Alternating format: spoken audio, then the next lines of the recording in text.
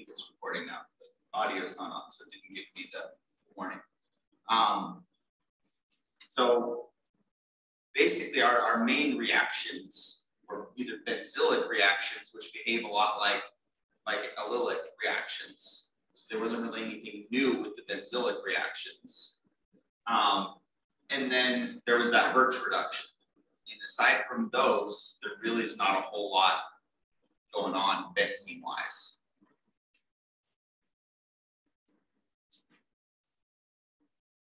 Um, so these were the, the quiz questions. And we went through the first one at least a little bit. So a reminder that, um, so NBS is that N-bromosuccinimide. So that's the one that will preferentially um, brominate at the benzylic carbon or an allylic carbon. So a place where you've got resonance um, for the free radical intermediate that you wind up making.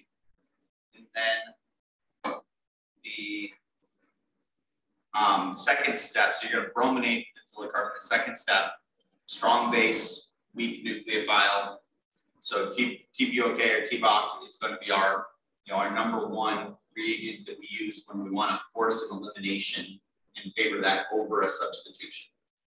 So if we did, if the second step was hydroxide, now we're in strong base, strong nucleophile territory, and we have to look at other conditions, or we're going to get a mixture of substitution products and elimination products.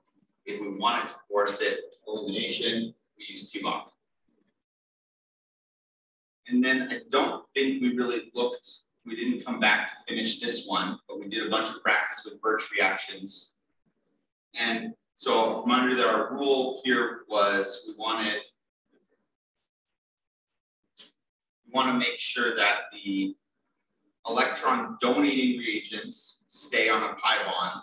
Electron withdrawing agents, which are which are any substituents that have pi bonds conjugated with the benzene ring. That's that's your go-to um, differentiation between the two. Um, if it's electron donating, it stays on a pi bond. If it's electron withdrawing, it wants to be on the sp3 carbons. So all four of these are electron donating. So they all want to be on a pi bond. So if we consider our three possibilities, remember this Birch reduction, we're making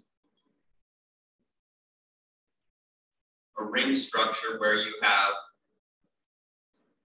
um, you break up the benzene to make uh, two sp3 carbons on opposite sides of the ring from each other. And again, if you're not sure how to how to best satisfy as many of these as possible, um, try drawing all three possibilities.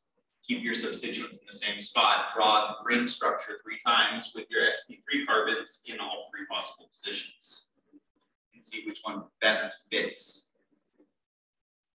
the criteria.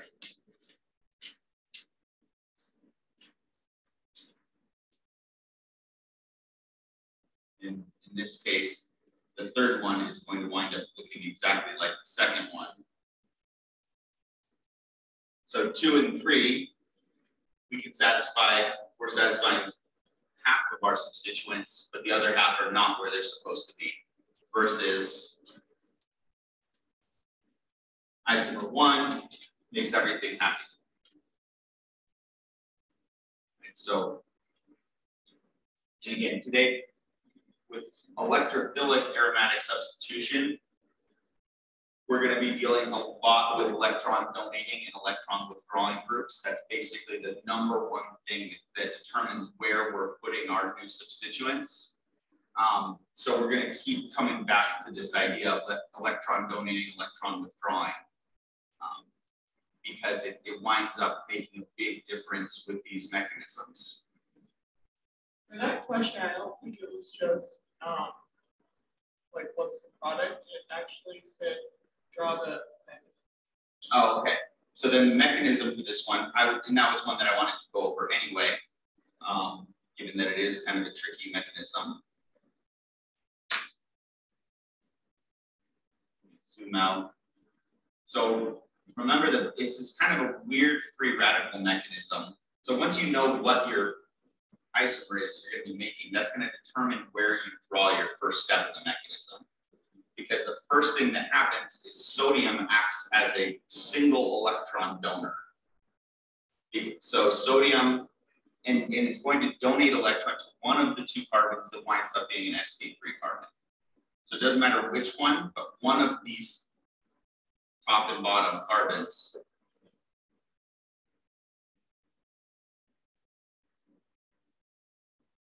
going to get a single electron donated to it. And to make room for that, you basically have to have a series of reactions. You're going to wind up with a free radical on one side of the mechanism, on one side of the ring, and on the exact opposite side of the ring, you wind up with a lone pair with a, a carbanion.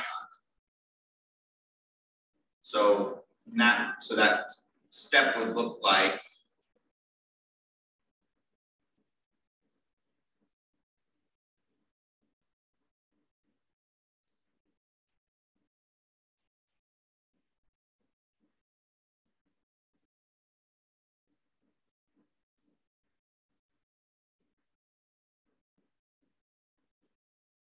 So remember when we're doing these single electron transfers, we've got to be using the, fish hook arrows.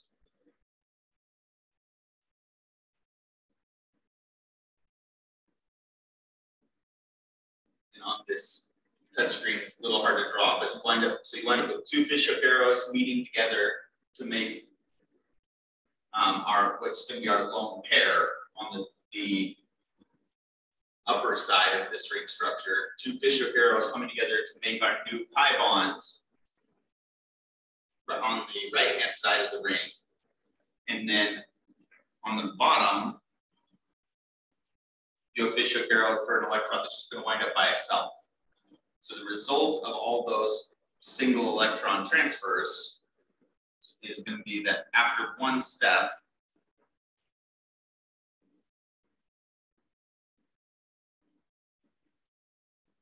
wind up with a lone pair at the top. So that's, and, and remember a carbon with a lone pair is always gonna have a negative charge. And we wind up with a single electron by itself, free radical at the bottom. Again, it doesn't matter which way you draw these, which, whichever carbon the sodium donates its electron to, it's going to be the one that has the lone pair first. And then from there, when you have a carbon with the negative charge, the next step is just give the carbon four bonds. Carbon is an even better base. So remember, oxygen with a negative charge is a pretty good base. It's a strong base. Nitrogen with a negative charge is an even better base. Carbon with a negative charge continues that trend. It's even stronger base than, than a nitrogen. So the fact that we've got a carbanion here means next thing we want to do is we want to protonate that. And so that's where the methanol comes in. It's just a proton source.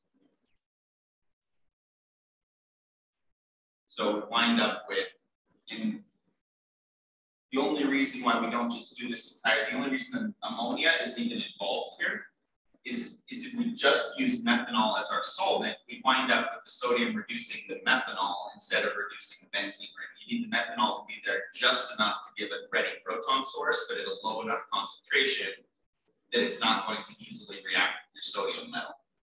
So the, the fact that the ammonia is a much worse acid than methanol is why we use the, the ammonia as our um, as our solvent in this case.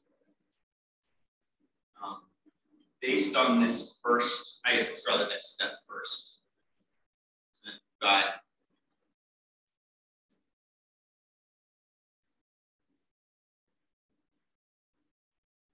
methanol around, just a quick proton transfer, the lone pair grabs hydrogen. Now we're using full arrows, not fishhook arrows a whole pair of electrons.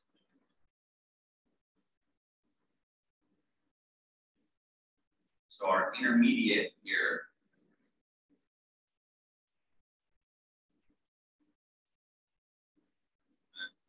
substituents here.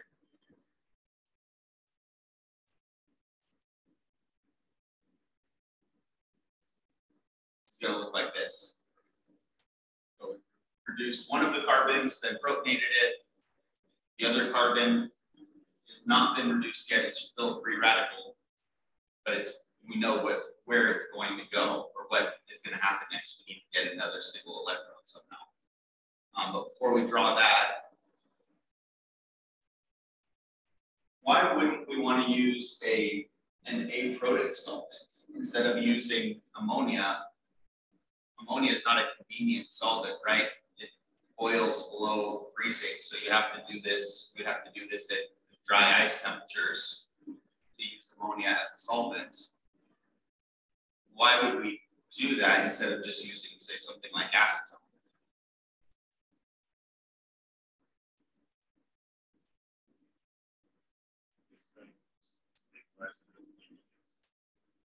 Yeah, probably. So there's there's two likely reasons that it's advantageous to use ammonia. One is we need something that's polar enough that it can stabilize this negatively charged intermediate. And plus, we also wound up making a, a byproduct of methoxy, methoxide. Um, so we wind up with something that is not super stable and actually after our byproduct after step one was a sodium ion too, right? So we need something that'll stabilize these negative and positive charges enough that we can actually get this reaction to happen at a reasonable rate. And so a polar protic solvent is might work for that, but it's not great. The more polar of a solvent you can use, the more you can stabilize those. Um, and the other side of this is that most aprotic solvents are going to be capable of being reduced, usually easier than benzene. If you did this in acetone, you wind up with the sodium metal reducing the, the carbonyl carbon instead of reducing the benzene carbon. So we need something where you can't reduce it anymore. You can't reduce um, ammonia other than just deprotonating it. And that's not even really a reduction. That's because the, the ammonia still has control all the same number of electrons. So because most polar aprotic solvents are going to interfere and cause a side reaction, we can't use those. And we want to stabilize these charged products and intermediates as much as possible.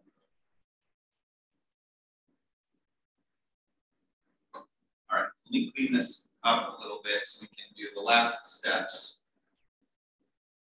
Um, the second two steps are the same as the first two steps, except now we already have a free radical instead of making a free radical.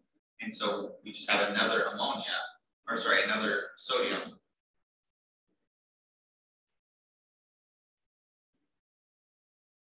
Ion, or not ion, sodium um, atom.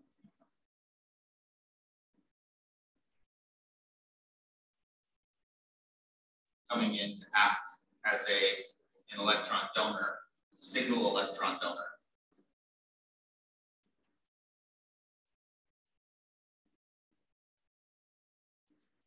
And now we wound up making another charged intermediate.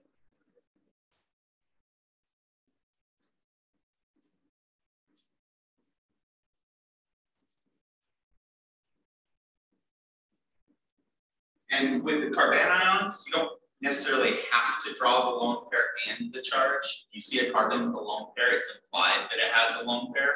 Um, but it's not a bad habit to be in because this is really the only time we wind up um, with carbon with a lone pair is when it has a negative charge. So just to make sure you don't, you know, uh, mix things up, it's not a bad idea to draw them both. And then we just do another proton transfer. So, so Again, same two steps. Sodium acts as a single electron donor, followed by a proton transfer.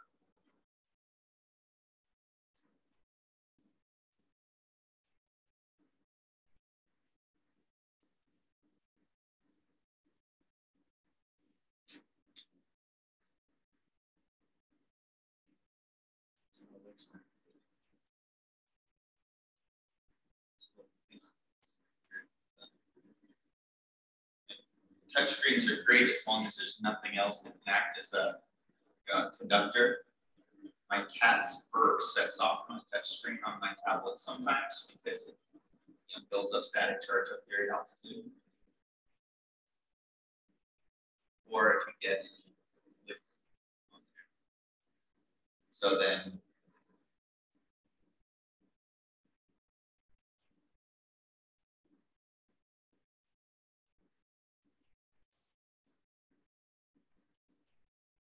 That's our last step. So we need to wind up needing a two to one stoichiometric ratio for the sodium metal and for the um, proton source.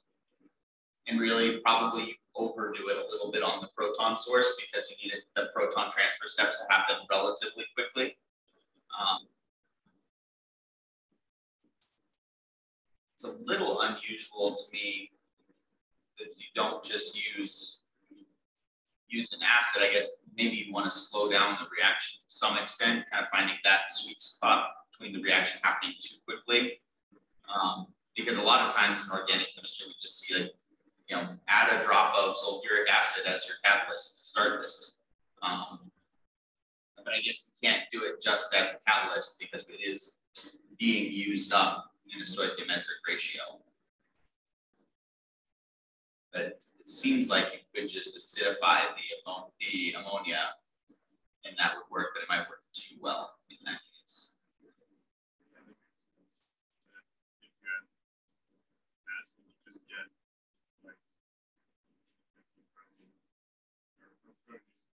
Right, you wind up with ammonium using acting as your as your proton source. Um, but my guess is that that the common acids that you might use to do that, if you wanted to do it in a stoichiometric amount, that might be cause some other side reaction as well.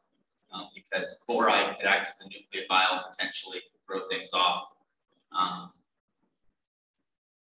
sulfate, sulfate, the sulfur could wind up being reduced. That might be easier than reducing the benzene to make sulfite. So I mean, it, the reason they give us these specific conditions is generally because somebody has gone through, tried a bunch of things once they figured out the mechanism, and this is what's commonly accepted as the easiest with the best yield.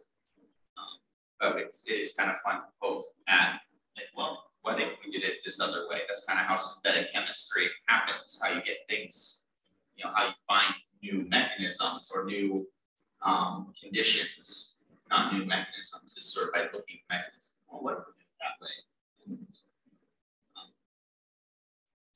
this would be actually a good candidate to do a project like that in this class, other than the fact you have to do everything at, uh, dry ice temperatures. The ammonia, ammonia is not easy to work with you're not set up for it.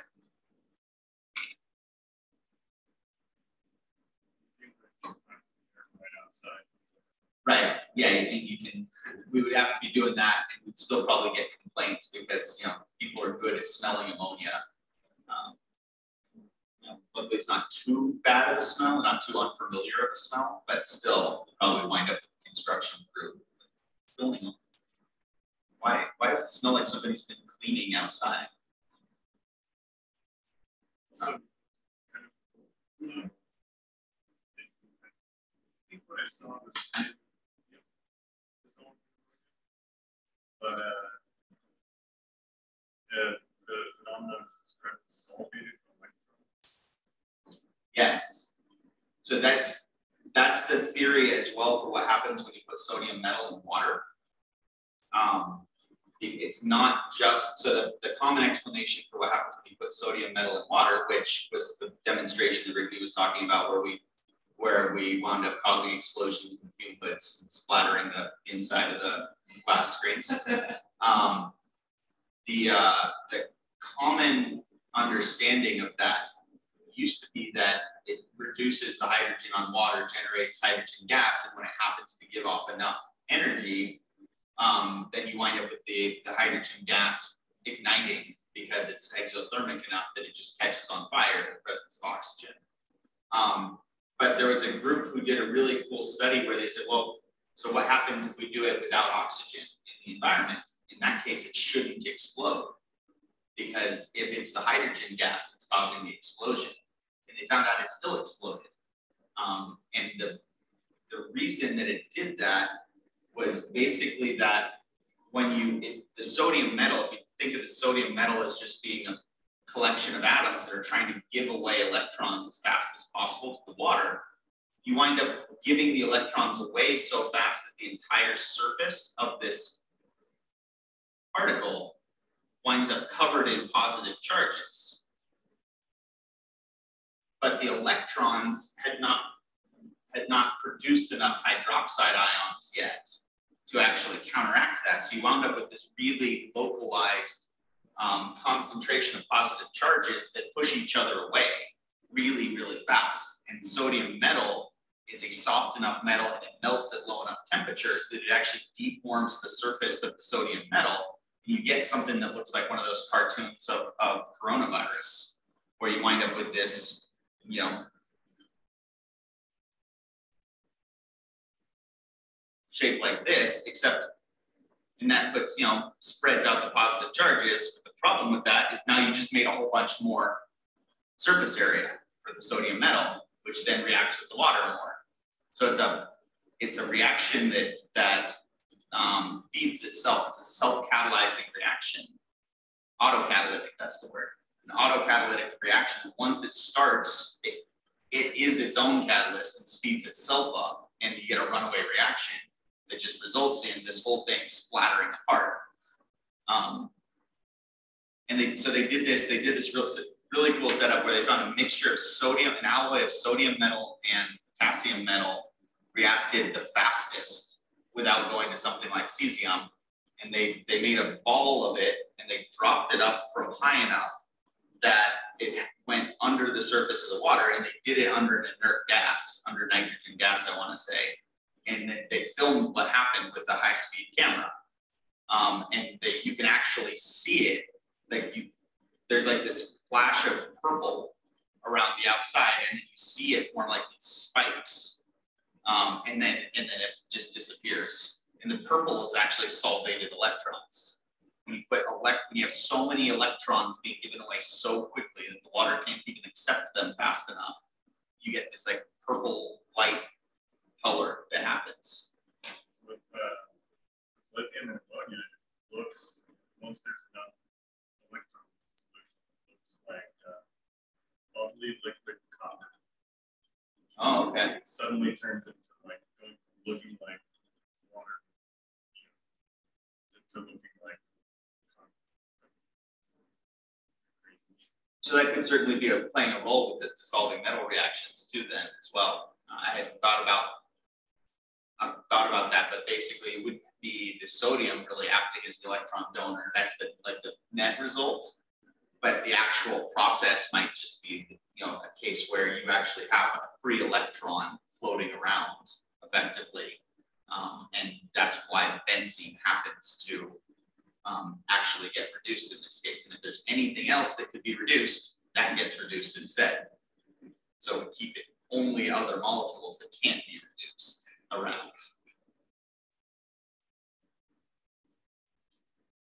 See, I have another practice qualitative analysis. We want to do another practice of these, um, or we're feeling pretty good about NMR-IR right now.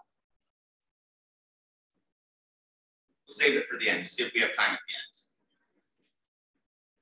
At the very least, this one doesn't look like it's going to be too tricky because it only has one oxygen and we know it's an alcohol and we know that we've got a mono-substituted benzene.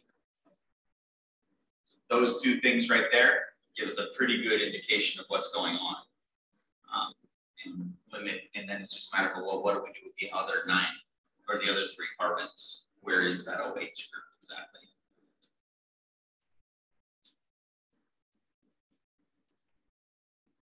Again, getting fluent in spectroscopy is a really powerful thing because you start to see those patterns and it doesn't take very long to pick up on the biggest pieces. All right.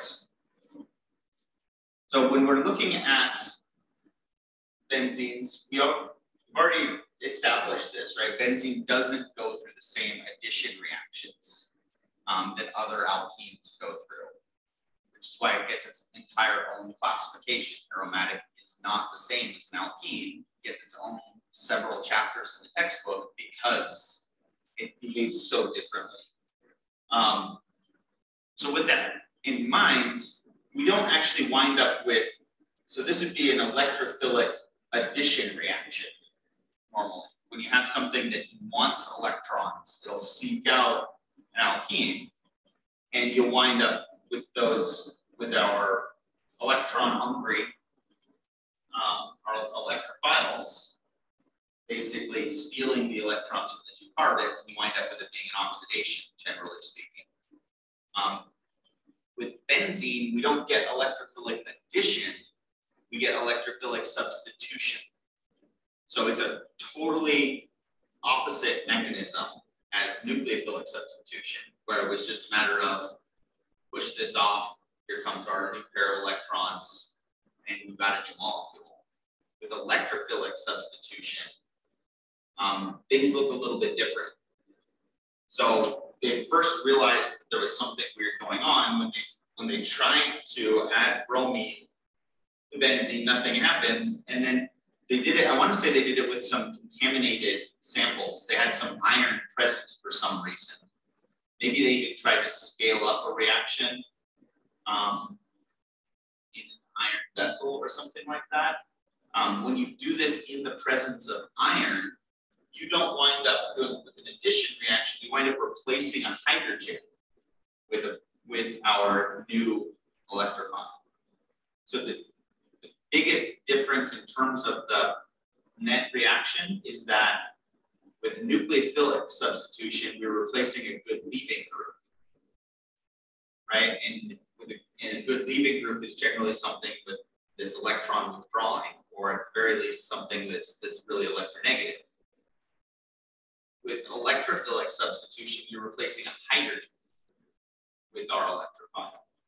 So it basically goes the opposite end of the spectrum. Instead of replacing something that's electronegative with something that's equally electronegative or more electronegative, we wind up replacing a hydrogen, the least electronegative thing present, with our electrophile. And so we need something that's quote unquote hungry for electrons, something that's a good oxidizing agent in order to do this.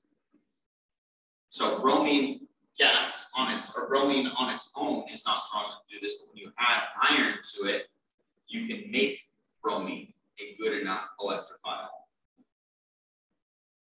Um, and you still don't get great yields, all things considered. 75% is, I mean, it's better than some of the reactions we deal with, but it's not like this is a highly favored reaction. Um, so what is the iron doing?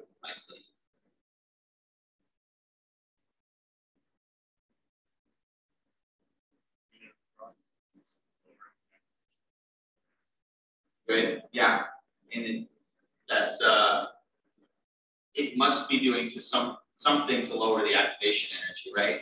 Because that's what makes it happen. What does iron so we've seen iron before um, in the form of when we had, um, see, FeBr3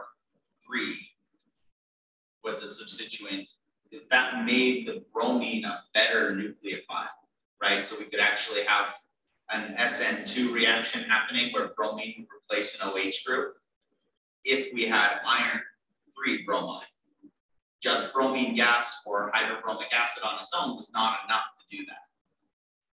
Does anybody remember what that did? What we called that?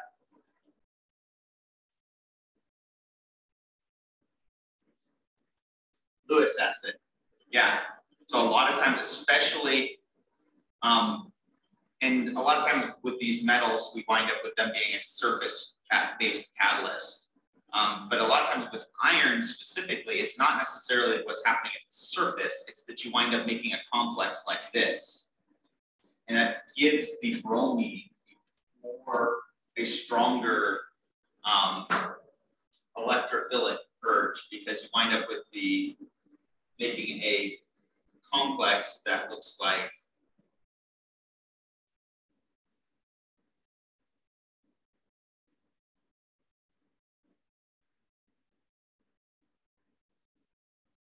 that looks like this. So now we've got a bromine with a positive charge here because it's got too many electrons. And in, in the other reaction, this had the result of making the brom the bromine at the end a stronger partial negative so that it could act as a better nucleophile. In this case, though, we can wind up with the other bromine being made a stronger electrophile because it's got a positive charge. So basically, it makes it less stable. We destabilize the bromine even further to make it more reactive. Um, and so we're going to actually go through a, a, series of reactions that all have the same mechanism. So just like with nucleophilic substitution, um, electrophilic substitution has a variety of things we can use as the electrophile, depending on, on what product we want. Um, and they're all going to go through the same basic steps. Um, and again, as a reminder, we're replacing a hydrogen on the on the benzene ring, not anything else. Once you put something else on a benzene ring, you can't go through electrophilic substitution anymore. It'll go through some other classification uh, reactions. Um, or sorry, one it will replace one of the other hydrogens instead of replacing something that's already been put there. And so it's only the hydrogens that go through this. So when we were looking at halogenation back in chapter eight, we first looked at addition, it was acting as an electrophile as well. Um, and we wind up making that bromonium ion. And then we had the bromide acting as the second, as a nucleophile in step two. So the first step was an electrophilic attack by the bromine. The second step was a nucleophilic attack by the bromide. And in this case, we, we wind up making something with the iron, we wind up making that similar complex. Um, but you wind up with the net result of making a bromide not a better nucleophile, but a better electrophile. Right, and so remember that Lewis acids, when you see a metal, especially metal dissolved, a metal ion in the organic chemistry, there's a pretty good chance it's going to be acting as a Lewis acid which means it's an electron acceptor. So the way that I keep the definitions for, for Lewis acids and bases straight is I remember that everything is exactly opposite as Bronsted-Lowry. Bronsted-Lowry acids are when we're talking about proton donor, proton acceptor. And that's what we're used to thinking about for acids. For Lewis acids, it's not the proton, it's the electron. And it's not the donor, it's the acceptor. And so it's basically, it's like a double negative. A Bronsted-Lowry acid is a proton donor, so a Lewis acid is an electron acceptor. Because you switch the charge, also switch whether it's donator or acceptor.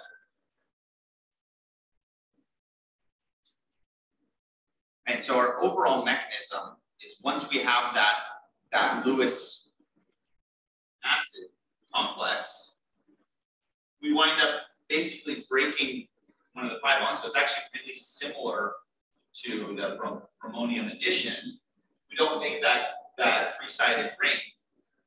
We wind up basically breaking open the benzene ring and adding bromide to one of the carbons. That leaves a carbocation where from the carbon that lost its, its pi bonds, which this can then resonate. So we can actually, this is stable enough because it has three different resonance structure. And this, these resonance structures collectively are known as the sigma complex. Right? And so that sigma complex is you've broken the benzene ring, and now you've got that positive charge, that vacant spot resonating around your benzene ring. What was your benzene ring? Um, but because we know that benzene is so much more stable when it's aromatic, the next step is basically reform the benzene ring. broke open the benzene ring the sigma complex, the next step is, well, we need a pair of electrons somewhere so we can make this benzene ring again. And so the way that happens is it's just a proton transfer step. So we break open the benzene ring, make a sigma complex, and then from the same carbon that got the bromine at, because that's the only carbon that's sp3. And so if, if, we can get rid of that proton, we can go back to all of our carbons being sp2 and we can reform the aromatic ring. And so you just wind up with basically the, the um, bromide that's still attached to the iron, grabs the hydrogen, the electrons that were in the carbon hydrogen bond move to one of the, to either of these two resonance structures, to one of the vacant spots, uh, or to the only vacant spot, and then you reform your benzene ring, and you've effectively just kicked off a hydrogen and replaced it with a bromine.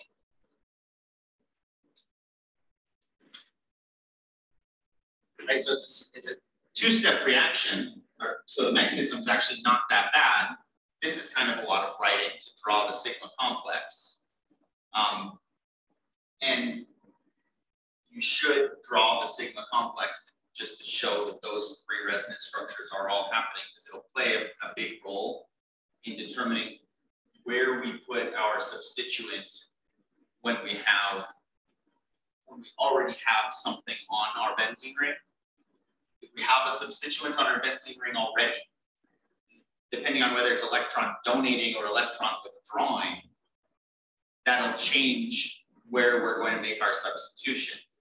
Because this sigma complex that wrote that sends a positive charge around the ring is going to preferentially want to form in a way that lets your positive charge be next to electron donating groups, not electron withdrawing groups. So basically, when you're picking which hydrogen to pull off, it depends on what's already there because of the sigma complex and the way that it rotates that positive charge to three different spots.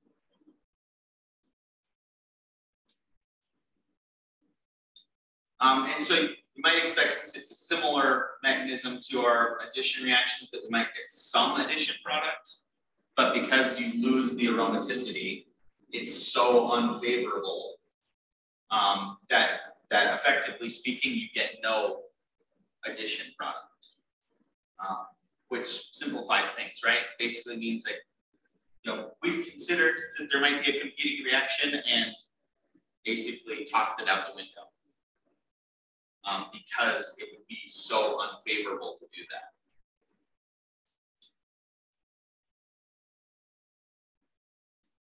Which is nice. Anytime we can say we don't need to worry about a competing reaction, that simplifies things a lot, right?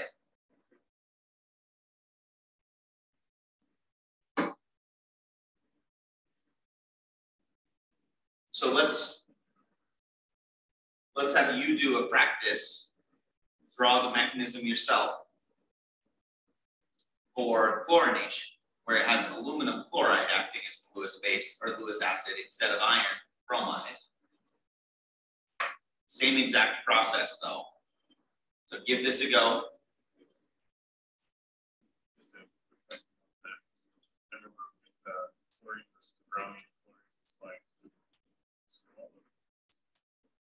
that not like Excuse me. Um, it is not because that was with free radical mechanisms. So because we're basically directing it the reason we don't use iron chloride is because we might see that happening. It might be too good of a Lewis acid. So we use aluminum, which is not as strong as a Lewis acid.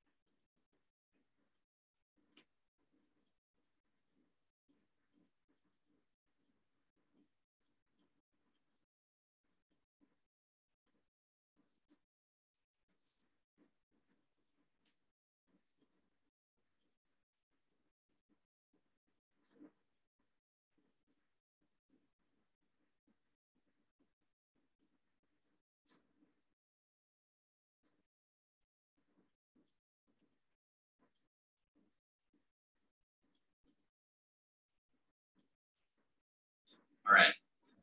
So I drew out some of these structures, but we'll go through and add the arrows in real time here. So first step is drawing out your Lewis acid complex, right? Which is always going to look like your metal ion forming a bond with what's going to become your electrophile. So you wind up making something that's not very stable. As a result, you can wind up with. The chlorine that has the two bonds, keeps the pair of electrons from the chlorine-chlorine bonds, and the chlorine that's at the end steals the electrons from the benzene. And so that means you're going to wind up making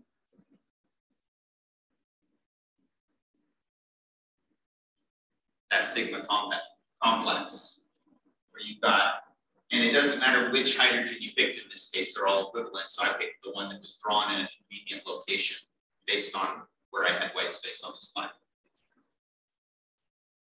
But the net result is that the other side, wherever you add your chlorine, the carbon on the other side of that pi bond is missing a pair of electrons now. And so you wind up with three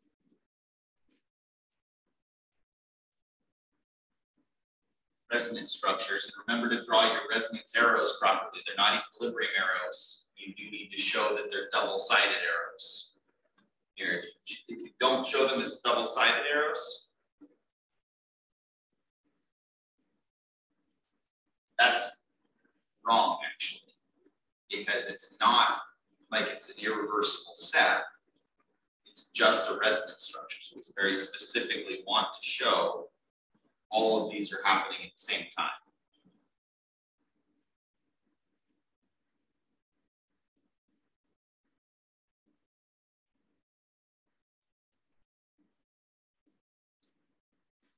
And then your last step is just going to be reforming the benzene ring.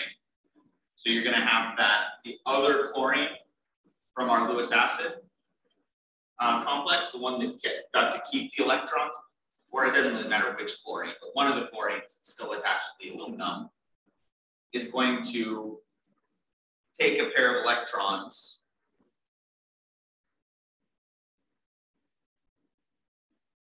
and grab that hydrogen, which leaves the, the carbon hydrogen electrons free to move over into the carbocation. And then as a net result, we reform our um, benzene ring, our aromatic structure. And then technically this is plus HCl.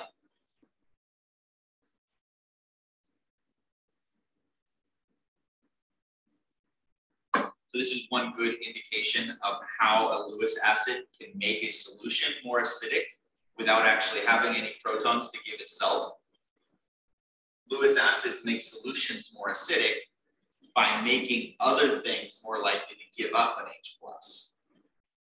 So in the case of water, it's because it forms a strong attractive bond between the oxygen and the water, which makes it easier to pull off the protons from a water. But in other solutions, you still have the same net results of making the solution more acidic um, despite the fact that the aluminum fluoride doesn't have any protons of its own to bring to the table.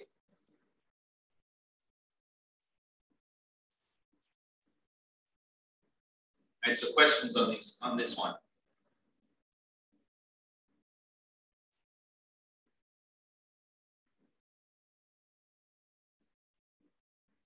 Right, so let's just talk about the general mechanism before we take a break for today our general mechanism is you've got an electrophile. Electrophile steals a pair of electrons to make an sp3 carbon and three resonance structures. So you, that sigma complex is the key. If you can get the hang of drawing sigma complex, then all of these mechanisms are the same. The only way they differ is sometimes in how do we make our electrophile electrophiles in general are not super stable. So electrophile attacks make the sigma complex, proton transfer to remake the benzene. Same, same three, two steps, but if you don't throw in the sigma complex as a step, it's the same three steps every time.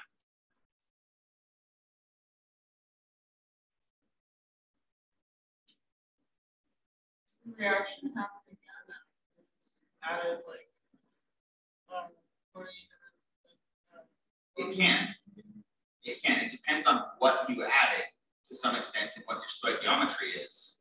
Because if you add an electron withdrawing group, um, then that actually slows the reaction down. Because remember, the first step is, in the, which is the slowest step, is um, break up the benzene ring by stealing some electrons, right? If you decrease the electron density in the benzene ring, that's going to make it harder to do that, right? So it gets, depending on what we're adding as our, as our electrophile, successive reactions get harder and slower. So sometimes, so there's a limit to whether or not you can just keep going indefinitely based on the electron density and how strong the electron withdrawing groups are. And it's the halogens, it's, I, I know I told you to use the conjugated pi bonds as whether it's electron donating or electron withdrawing. The only place that rule breaks down is halogens are electron withdrawing because they're electronegative. Um, and not the same size as the benzene. Because so oxygen with a lone pair can still be electron donating because the oxygen is the same, the oxygen orbitals are in the same energy level. So the oxygen orbitals are close enough to the same size as the benzene pi electrons that oxygens and nitrogens, despite being electronegative, are still electron donating. But the halogens are electron withdrawing because they're like electronegative and they don't have orbitals that are the same size. So doing this reaction twice in a row, the second one, you have less electron density in the middle here, and so it's going to go slower if at all. And that is absolutely, once we go through these, these mechanisms, that's the next step is, well, what happens when something's already there? How does that affect things? And that's where electron donating and withdrawing is going to play a big role. All right, let's take a break. Let's come back at, I'm trying to decide, let's come back at five after. Um, and I promise I'll remember to go through and take off any questions that we don't get to this time, so you don't get questions on the quiz that we haven't covered yet.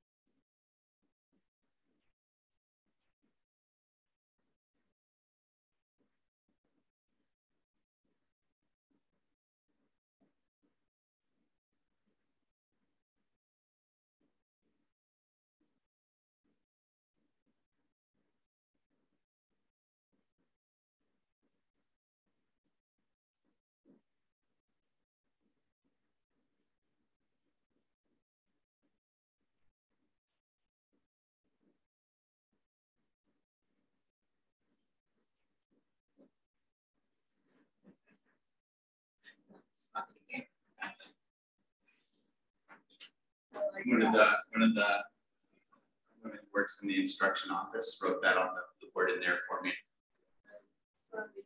I'd seen it before, but that is a good one.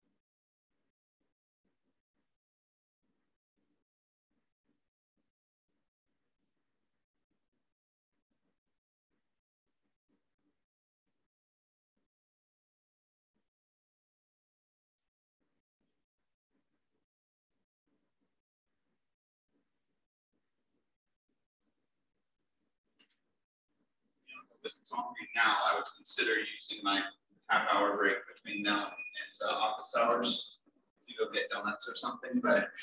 um,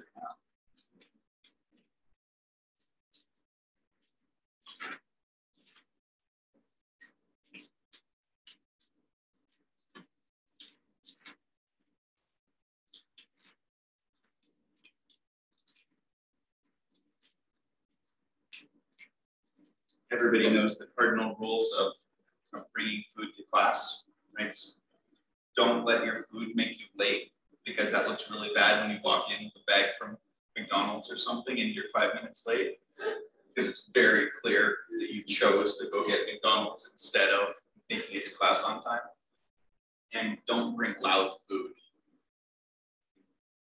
Crinkly chip bag, and then like you know how loud chips are when you're trying to eat it. It's just not not good. No smell. Smells are not good either. But Coffee is permissible. coffee is permissible. No tuna. No tuna. No tuna in the microwave. Yeah, Kathy Kathy Cox occasionally does that in our office. Not tuna. Usually she microwaves Brussels sprouts though. Ugh, that's awful. I love Brussels sprouts, So but the smell of it, Actually, Well, re- it smells like curry and Indian food, so I know there's a person at my work who really doesn't like it.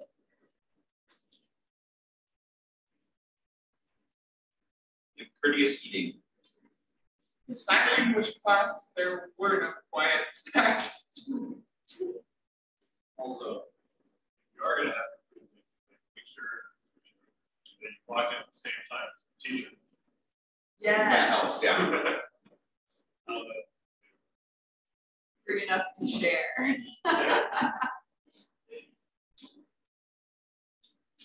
And it also helps when you're a good student. You get more leeway if you're a good student. If you're a student who's barely hanging on, um, not showing up for class half the time, and then you show up late with food, you're gonna get called out by the, by the teacher. If somebody who's here all the time, does the work, eating quietly in the back, it's gonna get a pass usually. All right. Let's talk about sulfonation. So sulfonation is so we've got chlorination, bromination. We now have like five different mechanisms that we can call chlorination and bromination, right? So we kind of have to be specific. We're talking about electrophilic substitution. Um, but there's really sulfonation um, is not a common reaction other than with electrophilic aromatic substitution. Um, and it is pretty nasty. It's get pretty good yields with it, but you have to use fuming sulfuric acid, which fuming sulfuric acid is basically you take concentrated sulfuric acid and then you bubble sulfur trioxide through it. Um, so either one of those is really nasty on its own, and so then we're just going to go ahead and stick them together, um, because what that does um, is it, it allows us to have. So if you just use sulfur trioxide and you put it in water, it'll actually act as a Lewis acid with the water to make sulfuric acid. So we have to do this in concentrated sulfuric acid, um, essentially so that if you do wind up with this, the sulfur trioxide acting as a Lewis acid, you just wind up making the same molecule that you started with. You wind up, it's, it's a lot like using ethoxide in ethanol because then it doesn't matter if it acts as a base on the solvent molecule because you make the same molecule you started with. So this is actually our electrophile is the sulfur trioxide. Um, and the sulfuric acid is just there to stabilize it. Um, and that it works essentially because despite the fact that sulfur and oxygen have both are electronegative, um, the sulfur has those larger energy levels, so you don't get as strong of a bond between the sulfur and the oxygen as you might otherwise. So just based on electronegativity, we wouldn't expect sulfur to be a very strong electrophile, but because it's one level down on the periodic table, it behaves in a much more electrophilic way. And the steps are the exact same here.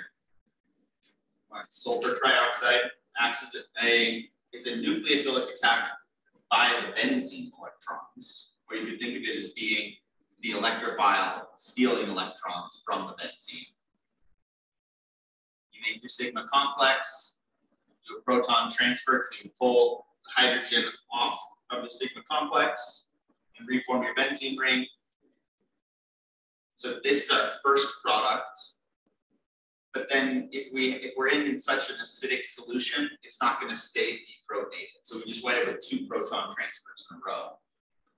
Um, the first reforms the benzene ring, the second one just takes that SO3 group um, and protonates it.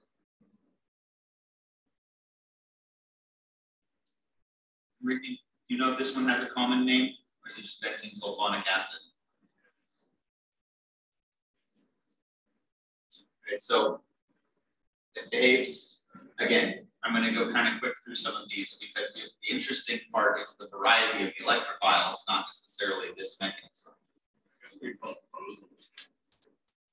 acid.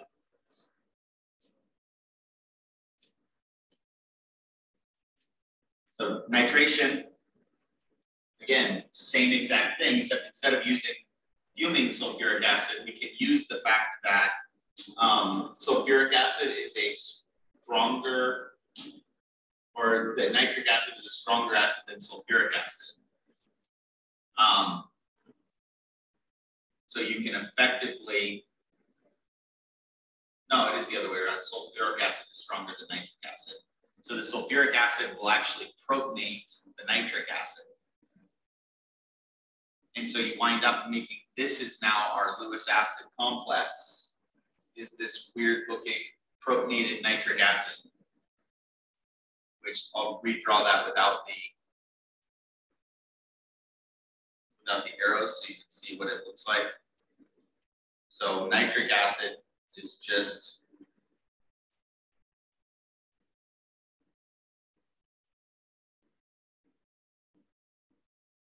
that's nitric acid right there. If you protonate the same oxygen that already has a hydrogen, you wind up with a good leaving group. Especially because you because you've got two positive charges right next to each other. The nitrogen is sharing more than it wants to, and the oxygen just got protonated is sharing more than it wants to.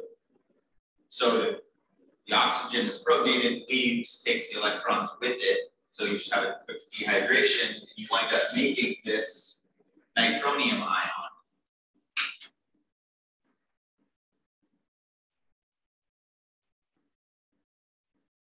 Which is a good electrophile. Nitrogen with positive charge, nitrogen's pretty electronegative. So it's going to go out and find electrons.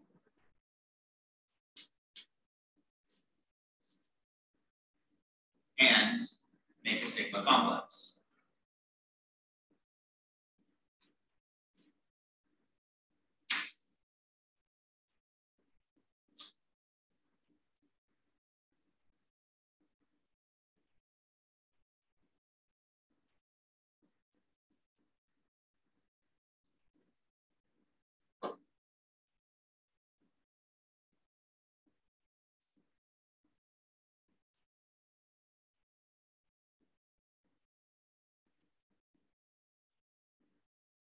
Right, so at the very least, you should be able to draw the sigma complex.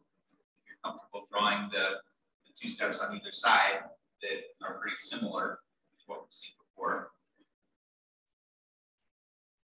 Anybody know what the pKa is for the first proton on sulfuric acid? Is it like negative 13 or something like that? It's it's more, it's a stronger acid than hydroiodic acid. Um, I want to say it's negative double digits.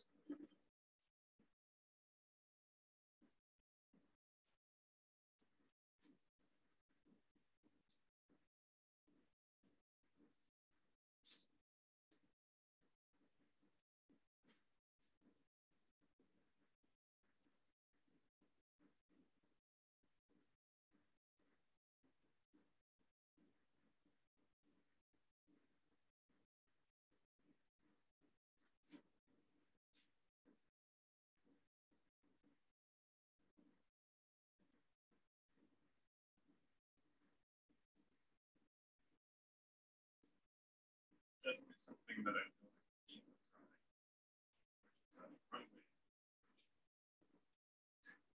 Yes,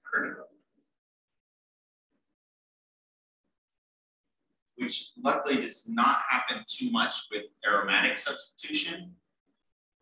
Um, because you're adding a nitro group, which is electron withdrawing, right? So it should follow that same feedback loop where you add a nitro, nitro group that slows down the reactivity of that molecule to further nitration. Um, unless you are, unless you put it in very, very specific conditions, which is how you make trinitrotoluene. So, um, so it's clearly possible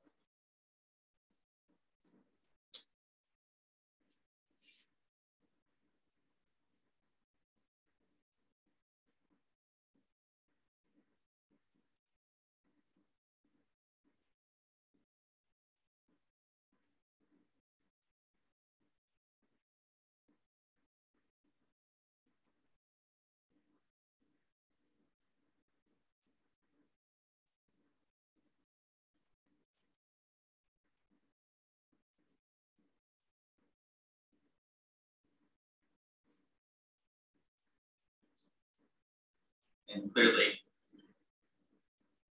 the uh, the synthesis of trinitrotoluene was a fairly big deal, especially back in the 1800s when it first happened. Does anybody know who first did that? So trinitrotoluene frequently abbreviated as TNT. I know you know. Yeah. Yeah, got himself the, the nickname the Merchant of Death um, as a result. So, and he felt so bad about it that he founded the Nobel Prize.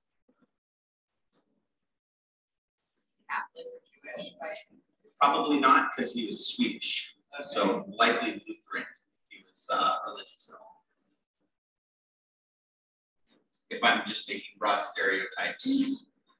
I was making a broad stereotype with the guilt thing. He, I mean, he like lost his brother.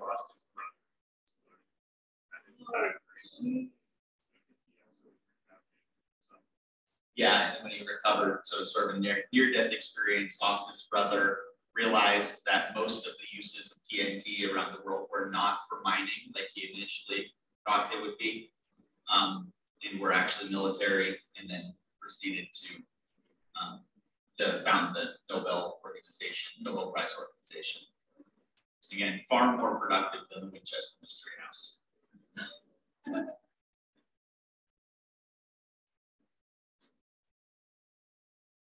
Right, so under the right circumstances, we can also make carbon-based electrophiles. So making Grignard reagents give us a carbon-based nucleophile.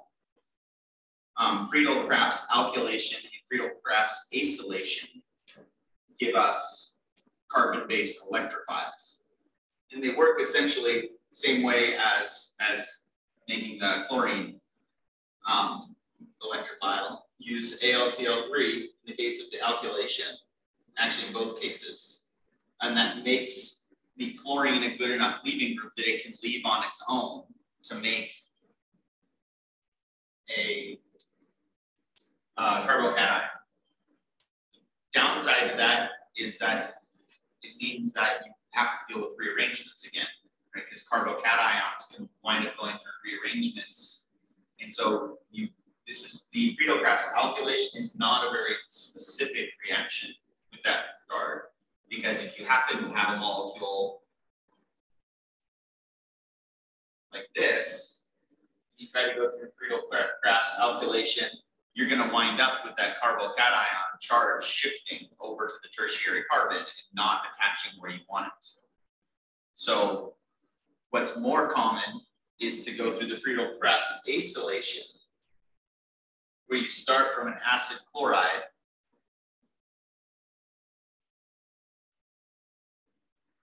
that looks like that, and aluminum trichloride. Um, because this acylium ion does not go through a rearrangement. It'll keep the positive charge on that carbon. And so you wind up with more stereospecificity. And so then you just need to find a way to reduce that carbon, or, you know, replace that, that carbonyl with something um, with hydrogens which there are some reactions we'll talk about that allow us to convert a carbonyl and reduce it not just to the alcohol, but all the way to the hydride, um, all the way to the uh, fully reduced form. Right, but the process is going to be pretty much the same. And again, the alkylation is really, it can be tricky because we get carbocation rearrangements and works with sp3 carbons. So you can't attach um, a an alkene in the benzylic position. You can't um, add, it seems like that would be a favorable thing to be able to add resonance, but you can't make that positive charge on a carbon-carbon double bond. Um, so as a result, you can't do either reactions. So it can only be specifically alkyl groups, meaning all that your chlorine is on a saturated carbon, is on an sp3 carbon. You might notice too, our yield is pretty low here, 66%. That's even lower than our bromination yield. Did have it with something that could rearrange, you're going to get even worse yields. It'll be 66% overall split between two possible things. So when all else fails, you have no other possible way to get to some synthesis target. You can do this, but your yields are going to be, you know, less than 50% probably. Um, here's the mechanism shown again for the Friedel-Crafts acylation, which again is higher yields, more common. It just means we have to add another step if we want to get rid of the carbonyl at the end to fully reduce it. But we do have reactions that do that. Again, electrify, generate your electrophile. Electrophile attacks benzene ring, makes a sigma complex, proton transfer to reform the benzene.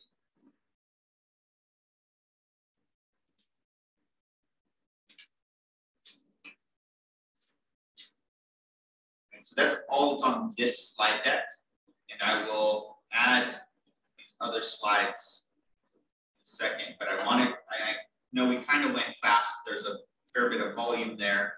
Um, but I wanted to look at the beginning of what happens when it's a substituted benzene, since we've talked about that a little bit. Um, and it's one of those things that's gonna that's gonna take more practice than just basic mechanism because getting the right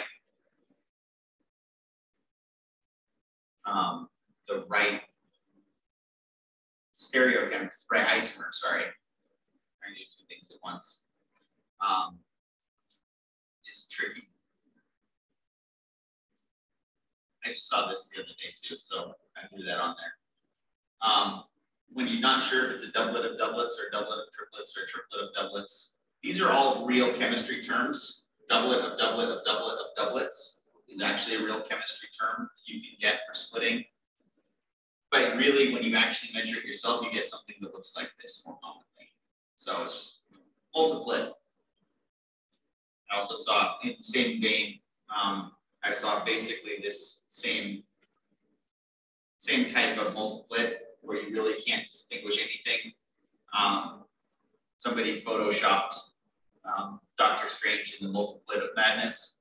Um, and it was it was this and you know Benedict Cumberbatch screaming in terror, um, which is also appropriate.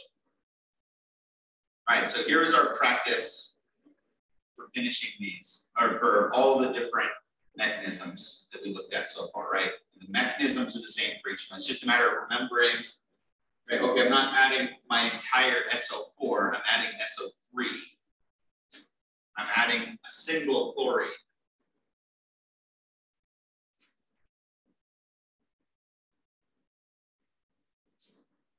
But if you can keep that straight,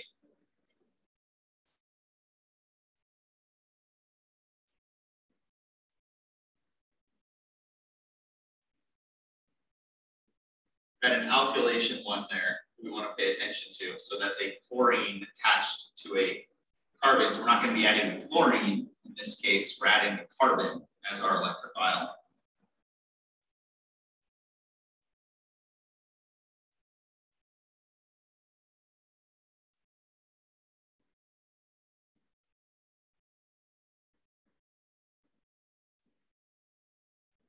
The sheer activity may tell you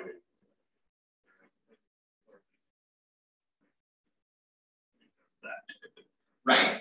If you were actually trying to make toluene, there are much better ways um, of, of getting toluene, but this is one way that you can do that. And everything has to start somewhere, right? So, you know, those those organic chemists in the 1800s didn't necessarily have access to all the same precursors um, or or crude for that matter. So had to go somewhere. And so really, since all of these are starting from benzene, the only way that these can be made more complicated is if it's not just benzene you're starting with. It's a substituted benzene. That's the only real variable here. And so what happens if we start from a substituted benzene? Well, then it depends, then the, that sigma complex, well, a couple things. One, we have three different positions we could add our nitro group.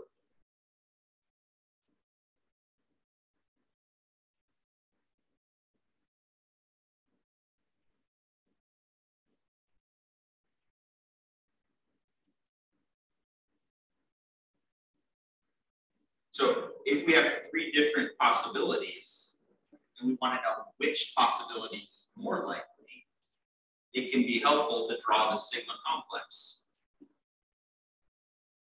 So in the figuring out which sigma complex is going to be more favorable, there's, there's shorter ways to do it than doing this, um, writing out three different sigma complexes. But for starters, we can, we can look at that and we'll wind up seeing that if we add, so the in the a reminder of the terms here, green is para, meaning on opposite end of benzene ring. The blue position is meta. And the red position is ortho. Right, so just as our shorthand for, for saying where things are attaching. If it attaches in the ortho position, we wind up with a sigma complex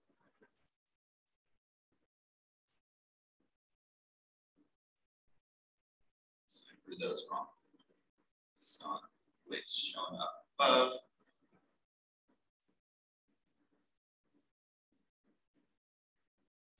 So if we add our nitro group here,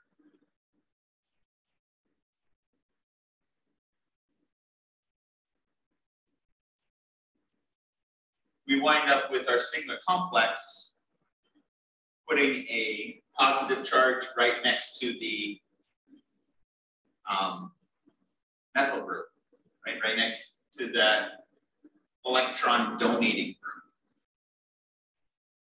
So what do we know about carbocation stability? What's the most stable form of carbocation? When it's attached to primary, secondary, tertiary, tertiary, right? And this isn't just tertiary, it's tertiary with resonance. So this is actually a pretty stable sigma complex. And the other, the other two forms of that look like we've seen before with the resonating around, which would put a positive charge here or here on the other ones, right? So basically, wherever we add our, our electrophile in the ortho positions to our new electrophile and in the para position is where we put a positive charge. If we put our electrophile on the meta position, in the blue position, we wind up with a case where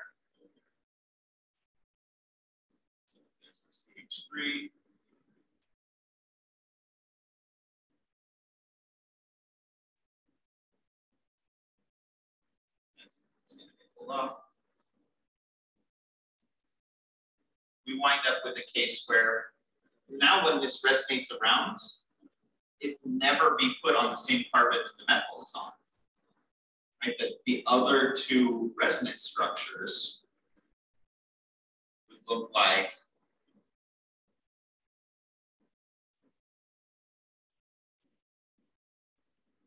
look like this or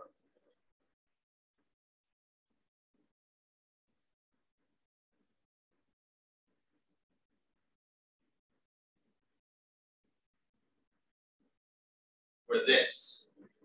So all of these have still have that positive charge, but none of them get to put the positive charge where the methyl is, where it could actually help stabilize things. So we don't actually wind up with any additional stabilization that way. So basically, the red position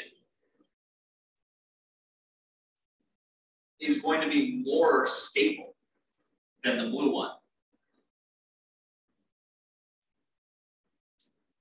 Now, you guys try for the para position. If we add the N, the NO2 group in the para position, in the green position, what does the sigma complex look like?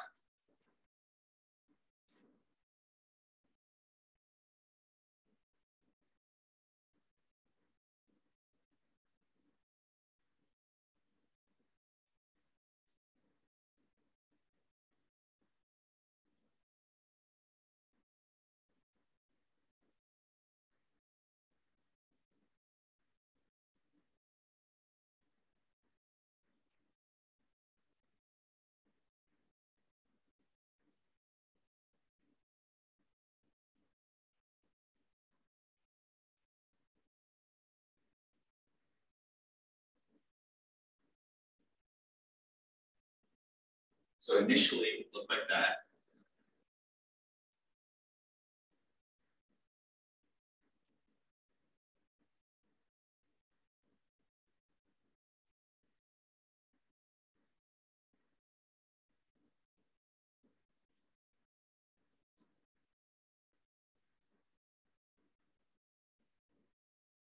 And first resonance structure looks like that.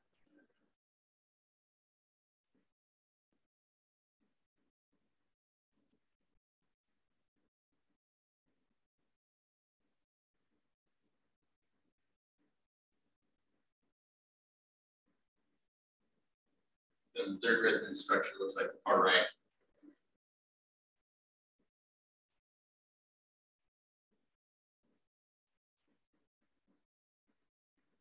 So is this one favorable or unfavorable?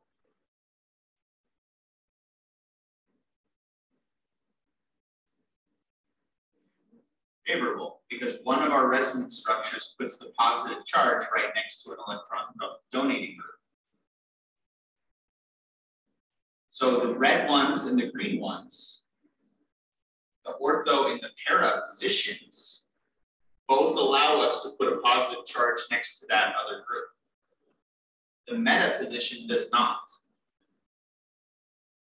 So the ortho and the para positions are a favorable place to have this substitution happen. The meta position is not unfavorable.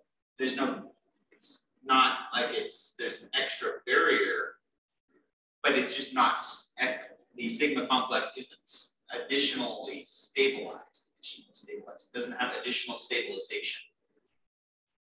Right. So the, the ortho, if you have an electron donating group, the ortho and the para positions are where you can expect to see that substitution happen. You won't see any substitution in the meta position.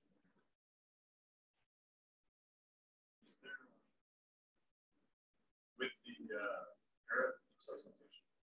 See that we have uh,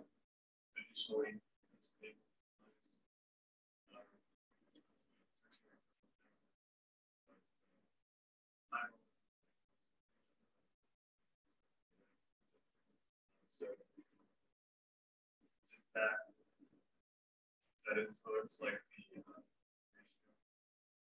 Not terribly. It's more about the fact so ortho is more favored by yield, but it's not because it's because the barrier is lower, it's because there's two carbons that it could run into that give it the ortho product versus only one that gives you the para position.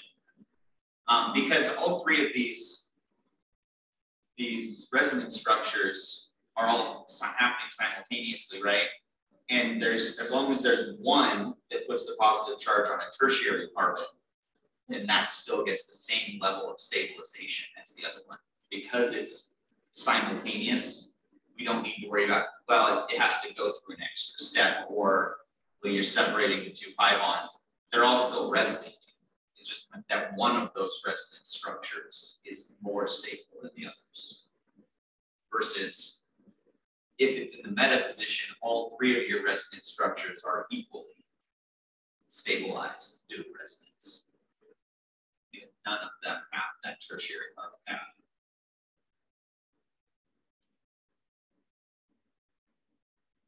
So that means, so if it's just a benzene or a uh, methyl group, um, toluene can be nitrated twenty-five times faster than benzene. So this is why it's trinitrotoluene and not trinitrobenzene.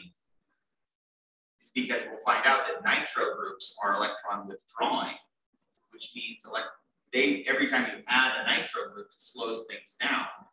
So you have to start from something that has a very strong activating group on it in order to be able to make those to add more than one nitration in a row. You have to have an activating group.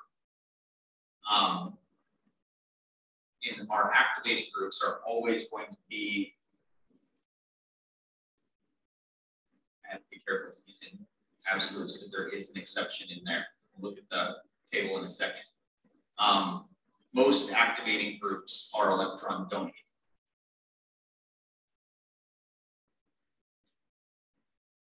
And it also means that we get stereoselectivity. We get a tiny amount of the meta product, much higher amounts of ortho and para.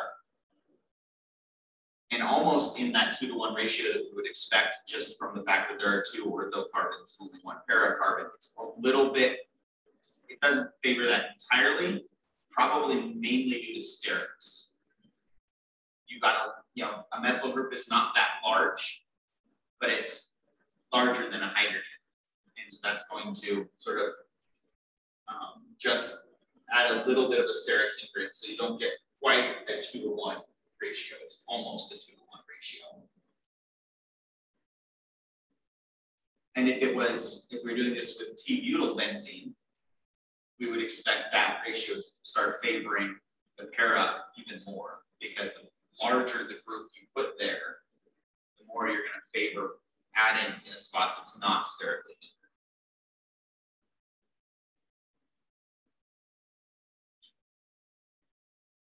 All right, so here is a meter drawing of all three possibilities. So if we have the nitration happening in the ortho position, we get a favorable resonance structure.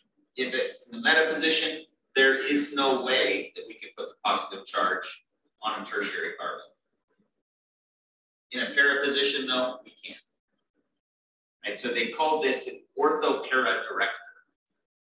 If it's an ortho-para director, that just means that your substituent is such that it's only going to really allow ortho and para products.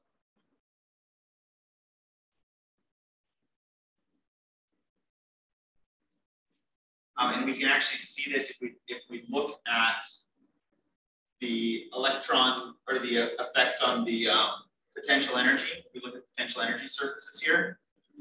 Ortho and para are but both much lower um, lower energy intermediates, and so you have a lower transition state barrier. The para is going to be the lowest because it doesn't have those sterics, but there's only one carbon that gives you the para attack. And so with that in mind, ortho is actually major product, but really we get such significant amounts of both of them, that we would be writing, even if it says write the major product, you would want to write ortho product and the para product for the most part. If it's a, if it's a multiple choice question and you have to pick one, then it gets a little bit hazy depending on how big that R group is. You kind of have to use your judgment a little bit um, if you don't have it memorized. All right, so anything that's an activator is going to be an, also going to be an orthopara director.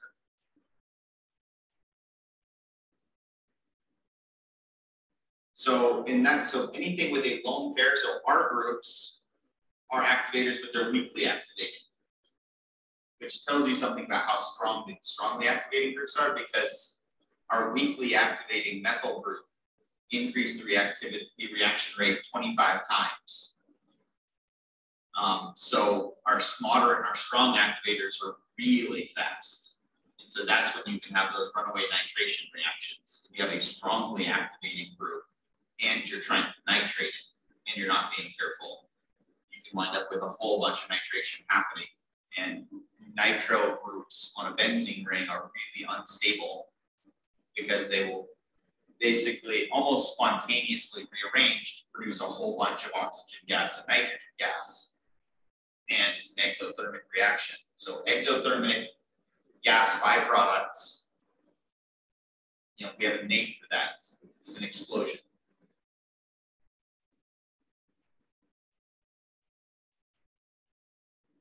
Right, so, and adding this caveat here so anything with lone pair that's in the second row is going to be a strong activator. Moderate activators still have that lone pair, but if you have other things attached to that lone pair, then that kind of limits how, how much electron density they can give.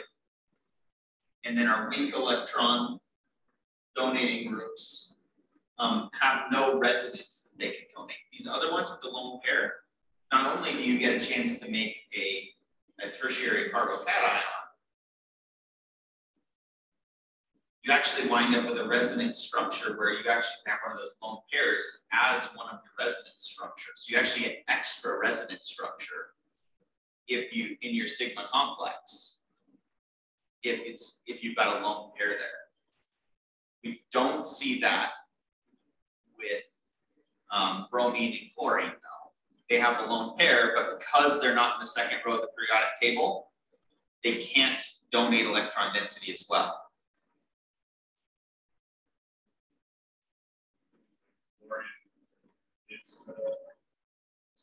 Chlorine, because it's fluorine, is going to be an exception and it's not typically used. So I don't actually know. It's it's in that gray area where I would want to look it up before I give you a solid answer on that one.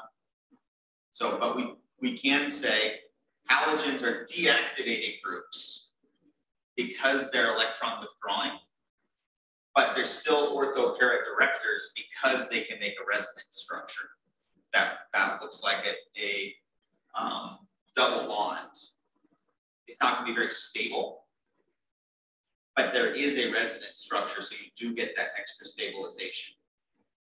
So they, they are deactivating groups, but still orthopara directors. So deactivator just means it slows it down. Or the director means we still have that same logic of it's going to go either in the O or the P position. And I know I'm going fast on this, but I want you to have seen it all once, and then we'll get more practice with it over the weekend and on and on uh, Tuesday. If you have an electron withdrawing group that has a conjugated double bond, that means your resonance structures are actually going to be pulling electron density away from the benzene ring instead of giving electron density to the ring. And so they are deactivating groups. They slow things down. And the sigma complex is going to look different too, right? Because if you have an electron withdrawing group on the ring already, not only is it going to slow things down, but an ortho attack is going to put a positive charge right next to an electron withdrawing group. So instead of getting extra stabilization, it actually gets destabilized when that happens. So basically, putting in a, a nitro group in the ortho position to an electron withdrawing group is not only is it not stabilized, does it not get that extra stabilization, it actually has extra destabilization. So we have the opposite thing happening, which makes sense. because This electron withdrawing versus donating, right? It should be opposite. And so it's not that the meta position somehow is more stabilized. It's the meta position is still our baseline because it allows us to never put the positive charge on the substituent. But it avoids the extra destabilization. So if I go back here, when there's electron withdrawing group, the ortho and the para position both lower the activation energy and sped things up. When it's electron withdrawing group, the meta position still stays the same. But the ortho and the para position get less stabilized. So meta has no change from where it was effectively ortho and para, both are higher in energy.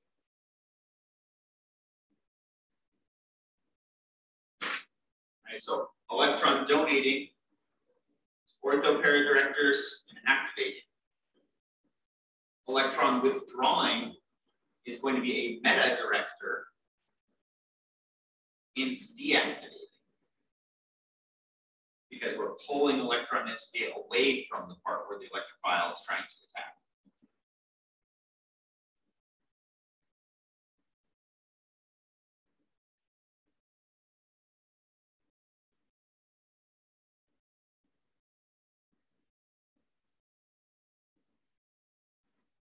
Right, and so this is the, the chart that's most useful when you're learning when you're learning this um, because it has a list of all the different activators and deactivators. I mean, it's not a comprehensive list, but it's a pretty strong list.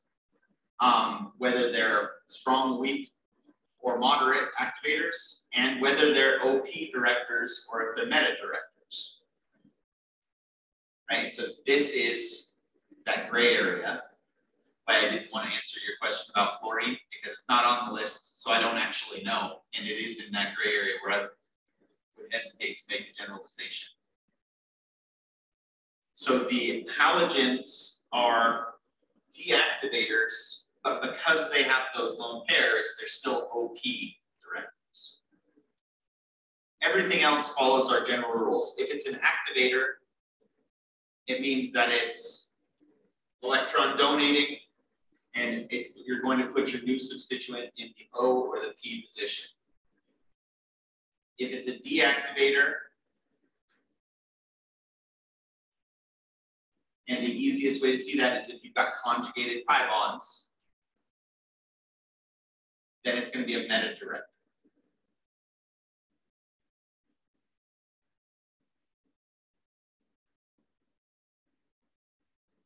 So with our two minutes left,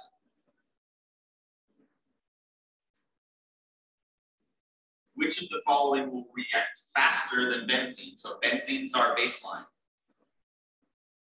So anything that's a activator will go faster than benzene. Anything that's a deactivator is slower than benzene. And where would we put the sulfonation product? So I'm in red, I'm going to circle the deactivating groups.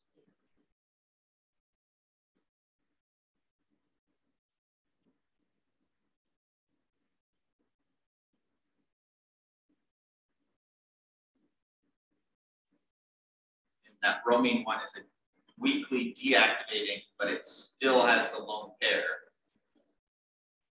And so we would be putting a sulfur group on for the left and for deactivating groups. We're putting our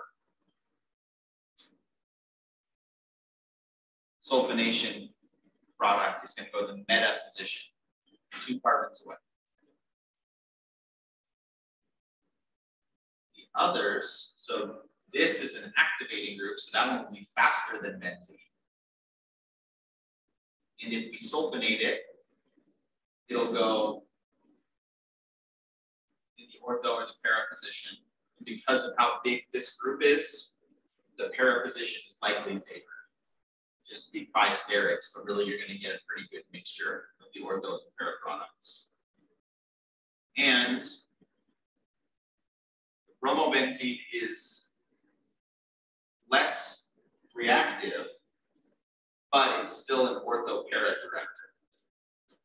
Again, bromine is big, so probably sterics would favor the para position. But you'll get a mixture of both of those.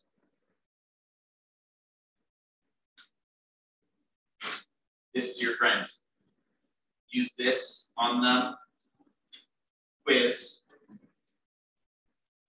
Like I said, I know we went fast and to get feeling confident about it, we'll spend more time on this, but we just did one and a half lectures in, in one lecture space. So you're actually set up really nicely for the quiz this weekend, and we're almost back on the schedule from missing last Thursday.